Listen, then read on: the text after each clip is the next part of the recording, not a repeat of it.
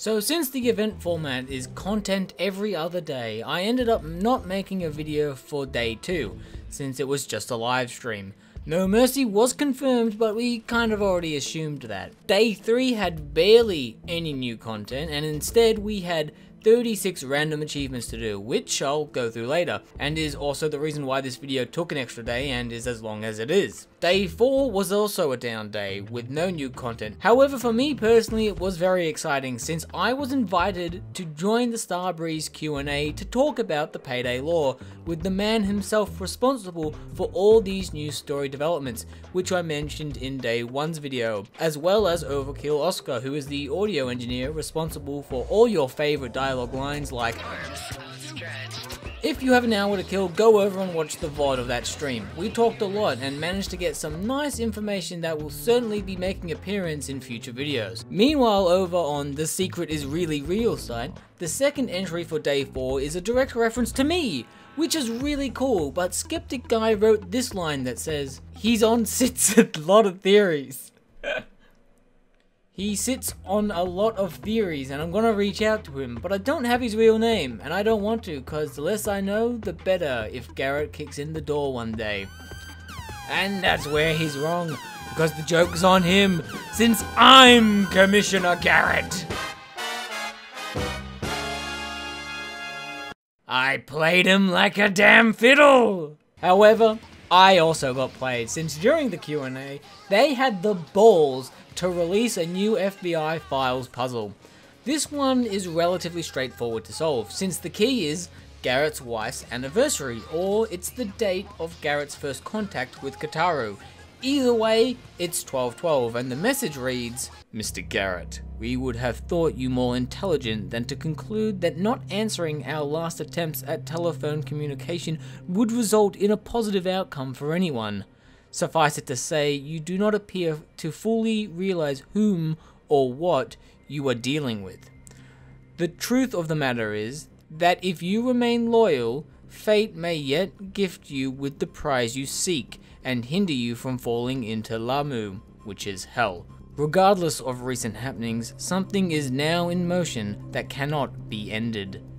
That will certainly add to my collection of evidence for whatever theory I decide to go with. However, we still have two days of content left, so we'll have to wait and see.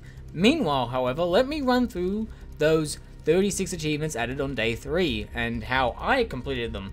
The majority of them I did myself, and the rest I did with one other person.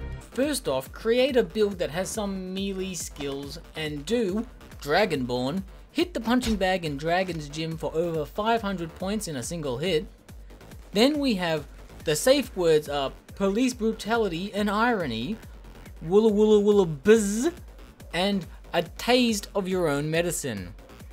Kill a Cloaker with the telescopic baton, stop a charging Cloaker with either the buzzer or electrical brass knuckles, and kill a Taser with either the buzzer or electrical brass knuckles. These should come naturally whilst playing drive-by and human sentry gun, kill 10 enemies from the passenger seat of a vehicle, kill 20 enemies with the light machine gun whilst using the bipod without undeploying. The forklifts on Meltdown work for this, and that's how I did it. Snipe this and compact confrontation, kill a sniper with a melee weapon, and kill a sniper from a distance of 40 meters with the compact 40 grenade launcher. The easiest sniper to reach is in Hoxton Breakout Day 2, and the Compact 40 has a huge arc, so it can be very difficult. I did this from this spot in Brooklyn 1010. However, Meltdown could also be a good map for lining up snipers from a distance. On to Heist, we have Silver Tongue and Just Shut Up and Take My Money. On day one of Reservoir Dogs, convert the cashier in the Garnet Group Boutique to fight for you, and hit the cashier in the Garnet Group boutique with the money bundle melee weapon. Just shut up and take my money! That is either a reference to the Fry meme or the video where I'm bashing people with the money bundle. Take my money, please! Down payment and federal assurance. On the First World Bank, hit any bank manager with the money bundle and kill the bulldozers in the vault within 30 seconds after jumping down the hole. I'm sure no one heard that, and global warming, finished the Ukrainian job in stealth after triggering the alarm with the metal detectors, and complete the Alaskan deal with all crew members using only flamethrowers. Ukrainian job has a 16% chance for more than 4 guards to spawn. Either restart until you can fully clear the map, or just ECM your way out before finishing. Global warming can be done solo, just disable the AI. However, snipers can be a big problem solo. A junkyard full of junkies, and damn it Bile, on Big Oil, kill all the bikers within one minute of starting the heist on day one, and on day two, have Bile trigger the alarm. ECM rush is pretty easy, and as long as you're patient on day two, it's not that difficult. The only issue is guards can see the open basement, which, if you have multiple people, can be ECM'd until Bile arrives. Hipster, complete a day of any heist in Loud without ever aiming down the sights of your weapons. By loud, it means it ends in loud. I did this whilst going for my Damn It Bile achievement, whilst my friend got it during the Loud escape in Breakin' Feds.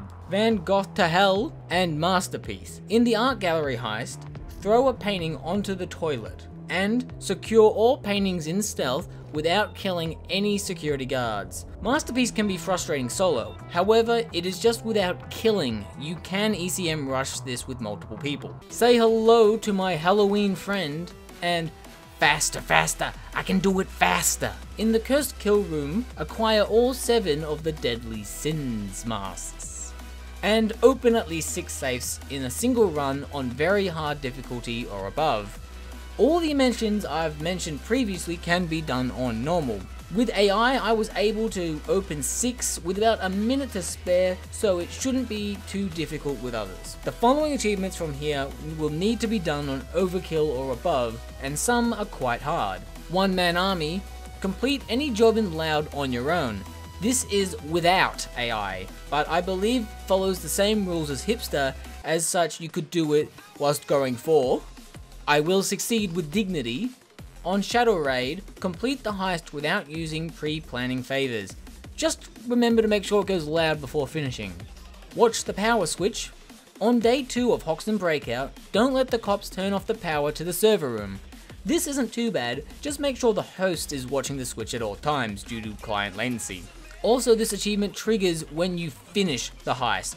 That confused me. Remember, not Ashen. On boiling point, scan all four bodies without letting the mercenaries turn off the scanner. This is, in my opinion, the harder version of Watch the Power Switch, since you have to defend two points instead of one. However, easier than that random framing frame defend the power switches, because there's like three of them in that one. Speaking of annoying, I feel like Robin Hood. Complete undercover with every crew member using only a bow and normal arrows. Now, here is what this achievement doesn't tell you. You can't have any modifications on the bow, like a stat boost. It took us 3 attempts to get this due to not knowing this. You can do this without 4 players, just make sure you disable the AI. However, it is very hard to move the taxman with only 2 people since it is so hard to clear waves. Quick draw. On Panic Room, kill all gangsters within 60 seconds of masking up. You can do this solo, but it is quite hard. When it says all gangsters, it means all gangsters. Even the ones outside and in the red room, which requires you to kill Chavez, get the key and unlock the room and kill them. With more people this obviously gets easier. The following three achievements need to be done on Death Wish. Matrix with lasers, on Big Bank, open the vault using the Beast and escape using C4 tunneling without killing any snipers Again, if you're good enough, you can do this with two players, however I recommend turning off the AI since they might kill snipers. And if you have a low armor build, the snipers could hurt right at the end. The Raid Gang, complete safe house raid without letting the cops pick up any bags. This I thought would be harder, but it depends on the defend location. Either way, you can keep the team AI in place to defend quite easily. You do that by looking at them and hitting the Z key in case you were wondering. Expert landing. On Birth of Sky, have all players land on the roof of any building, car or other structure and together get 200 kills before ever touching the ground. This goes faster the more players you have since you'll get more cops, however if you're doing this with less than 4 players, make sure you turn the AI off. Finally, we have a few small other random achievements. Golden Grin Anonymous, spend at least 1 billion in the offshore payday. Y, on counterfeit, place a body bag on the grill. C40, place at least 40 trip mines in a single heist. This is the only achievement that actually requires 3 or 4 players. Denied, destroy 30 flashbangs before they detonate. Someone mentioned this achievement should have been called Your Opinion, My Choice, and if you don't get that reference, you should YouTube that phrase and watch a 26 second video. Virus, play a heist together with a player who has this achievement. This looks like it would be a pain, but I reckon it will spread like, well, a virus. I think everyone that plays pubs will get this within a couple of weeks. And finally, there is Lieutenant Colonel. Convert 300 enemies to fight for you. This you should get over a long period of time playing with Joker skills, but if you're like me and you want it now, then it is literally hell. Here's what I did. Boot up Car Shop normal in offline mode. Run in and dominate the stairwell guard, then find another guard to dom. After the second one is surrendering, trigger the alarm by shooting glass. Then go and convert both of them. Now, I was averaging 20 to 30 seconds to get two DOMs, and it still took me almost two hours of solid grinding. It was however fine since I was transcoding most of this video footage whilst going for it, and it was the last achievement I got from this new batch. And that will do it for me for today. Again, by the time this goes up, it'll be close to day 5, and we will have something new to play with or do. So, if you want to keep up with my crazy antics, it would warm my cold dead heart if you subscribed. I will be doing more lore-centric videos soon, I just have to collect my thoughts with all this new information. Anyway, catch you next time. FBI,